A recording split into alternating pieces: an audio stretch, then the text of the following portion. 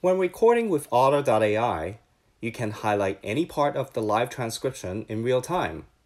Simply double tap on a sentence and adjust the selection if you wish. Then tap Highlight to finish, like this. This is especially useful for highlighting key points, quotes, decisions, action items, or anything important that you want to review again later. Alternatively, if you just want to insert a bookmark, you can single tap on the Express Highlight icon at the lower right corner. This would highlight the last couple of sentences like this. It's as simple as that.